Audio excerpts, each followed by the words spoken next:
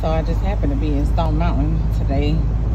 And I was passing by this neighborhood on my way back home. And as everybody knows, being a realtor, like I have a thing for like houses and landscaping, but aka curb appeal. And these houses have such nice curb appeal. Like I just had to come through here to see what they all look like. Nice. You can tell they're older homes. Like I said about older neighborhoods, they're more established.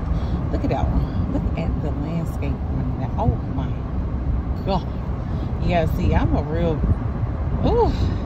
Yeah, I just. Uh, yeah. it's kind of the session a little bit, I would say, but yeah, I've always been big on curb appeal anyway, because my dad used to like keep his yard really good when we were very little, up in the house when we were living together. But yeah, these houses are like really nice, and I'm just loving the curb appeal. I'm gonna keep riding, see what else I see, and turn around and take my nose to back to the crib.